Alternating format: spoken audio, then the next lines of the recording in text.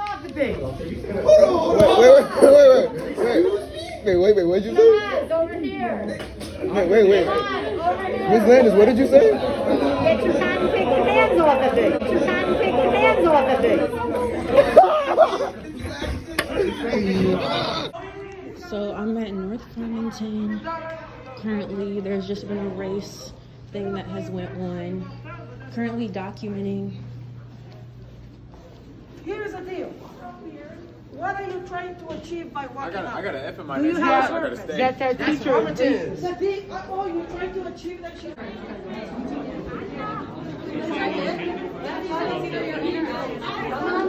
But go to your classroom, there's no in between.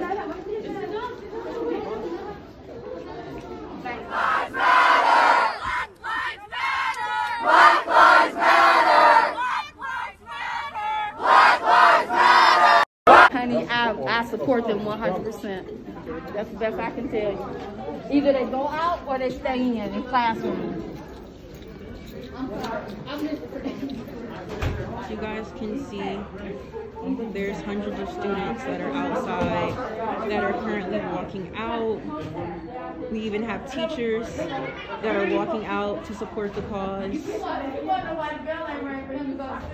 that are coming out. And then once you leave, you cannot come back. We have people that are leaving out now.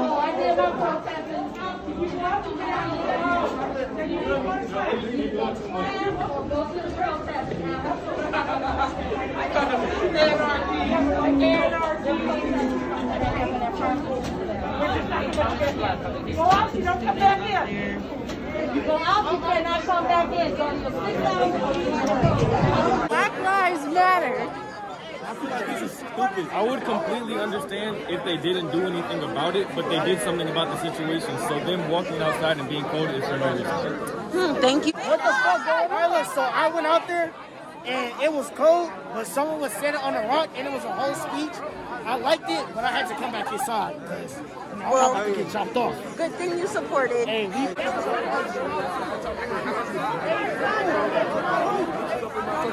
be a COVID party. One of these niggas got COVID. what happened should is unexcusable and should be handled and treated and the teacher got to go so that's all i have to say Thank you. Um, this event just shows us that Farmington is not perfect and they have a lot of things to fix. And what they're doing outside is just not okay.